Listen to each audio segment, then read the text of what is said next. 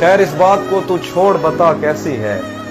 तूने चाहा था जिसे, वो तेरे नज़दीक तो है। कौन से गम ने तुझे चाट लिया अंदर से? आजकल फिर से तू चुप रहती है, सब ठीक तो है।